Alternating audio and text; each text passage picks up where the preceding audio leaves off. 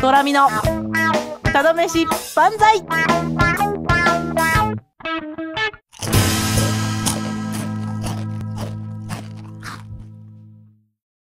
皆様こんにちは、えードラミのただ飯万歳です。今日は喜連川町にあります。AT ギター工房さん。こちらになりますがに豆腐を食べに参りました。それでは中の方にお邪魔したいと思います。あいたお邪魔します。というわけで。せご主人様。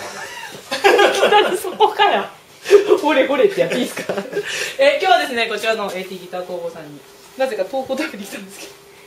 えもうセッティングされておりますが一応ギター工房です。本物です。中見ていい？どうぞ。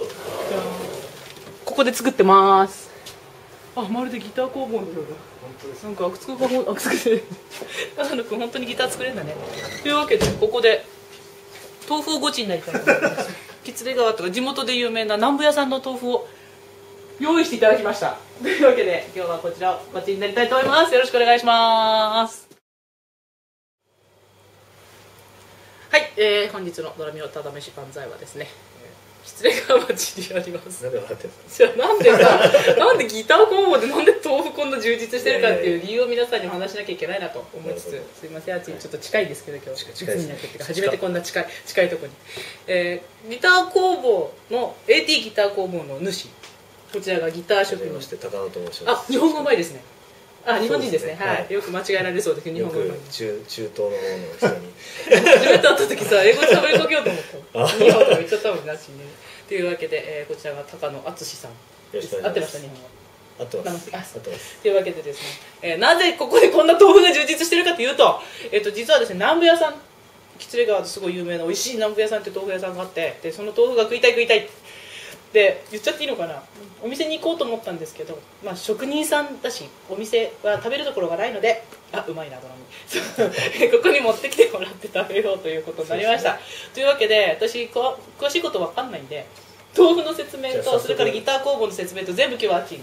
ギター工房は一人でやってください。まあこんな感じ で。さっき冒頭にちょっと、はい。ねそうすごいいっぱいギターがそう。なんか松これ気に入ってたみたいだね。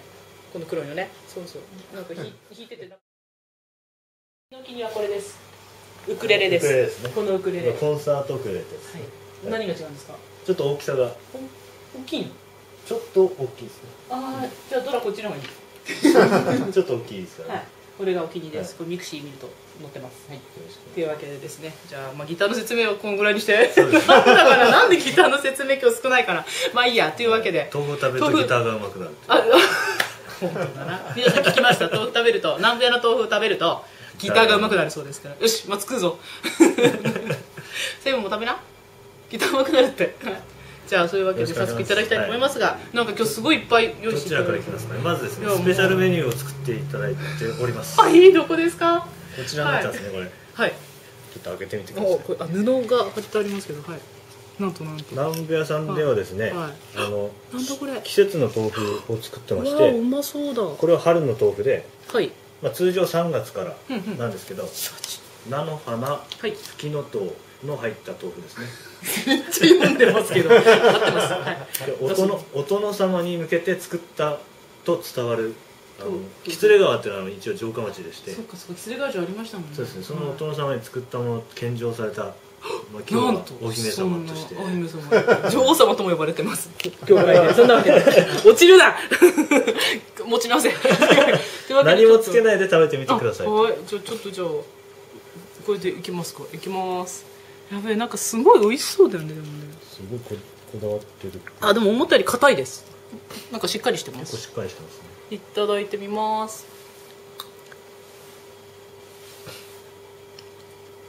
うわうわえうまい。濃い。豆腐が濃い。すんごい。あ。なんかこれあ何入ってるっけ？フキノトウフキノあトウと菜の花へフキノトウの匂いがすんのえししない。わかんないか。うまいうまいうまいこれ。すあなんかすごい春っぽい。すごいですね。いつもあ3月もうお殿様の気分になれました。というわけでちなみにですね、夏の豆腐っていうのも夏ありまして、はい。じゃあ松なな何が？夏になるとバジル豆腐。これはオリーブオイルで食べるとベスト。あああうまそうだね、とトマト豆腐。うん、うまそう。生野菜と一緒にドレッシングをかけて。おいおい南部屋の回し物。すげえ説明してんけど イタリアンさ感覚で。はいわかります最後もちろんん豆腐というのは和の豆腐なんで柚子と海藻。青大豆というのが豆腐も夏の豆腐であります。そんなすげえ食ってますね。美味しいよ。まだいっぱいありますからね。これはですねあのまあ油揚げあなんかお餅の出来損ないみたいにふっくら揚げとかえ多分言うんですけどこれ僕がですね一番お気に入りでもう油揚げってそんなにあの価値観なんか油揚げ食べたいってないじゃないですか。狐じゃない限りはそんな食いに来ませんねでもこれは美味しいんです。あこの大きさといい。ちそうなんかちょっと大きさがちょっと手こるな。ちょっとょっとあの生姜美味しいですよ。ね食感が。なんか初めて。なんかなあの厚揚げよりもそうですね。薄よりもちょっといんだけど軽くて。うん。でも豆腐じゃないから、あなんかえ？ああお味噌汁でも美味しい。うん。なん。かごめんガツガツ食べてていい。うん。一回パクってやった後に止まりません。美味しいですね。この食感ぜひお試しあれあれ。うまい。そば寄せ豆腐と黒ごま寄せ豆腐。ああそこうまそうなんでい行ってみたいと思います、よろしいでしょうか。これはそばつゆをかけて食べると。どりどり。じゃあまずこれをちょっと取り分けてみますかまずはですねこっちそばの実の方いって今ブルブルしないの松岡君。いいですか？いいですか？いきますよ。うんうん。ああなんかね分かった分かった。うん。あのそばがきの冷めた やり方したらまずいよ美味しいでも。あでもこれはい。そばアレルギーの人は食べれません。そばアレルギー出ちゃいます。そんぐらい味します栃木県といえばそばです、アイスみたい。これは180円になってますね。あ黒ごま美味しい。うんこの大きさで180円なんで。うん安いと安いです 250g うんいっぱい 回し物？すごいごま美味しかったね。すいませんね。いやいや妙なことお願いして。いやいや。おかげで私お腹がいっぱいになりそうになってるんですけど、はい。よかったら私なんかギター工房の説明でもします？僕ギター逆回みたい。ギターを、あの作ったり直しておりますので、ん。あのなんか超それ補足説。何かギターにトラブルがありましたら AT ギター工房に。場所はですねあの喜連川のなんていうんですかここ私に聞かないでください。全然わかんないねは温泉温泉の真ん前ですね、はい。湯本温泉の前にありますのでよろしあなんか温泉ありましたね前に。はい真ん前に喜連川4620の1ですね。で電話番号が028-686-3530ですね。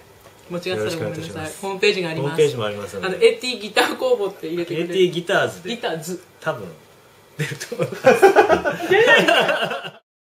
りがとうござい。ましたエティギター工房さんに。南部屋の豆腐食べにいっぱい来ました。今日はありがとうございました。じゃあまたよろしくお願いします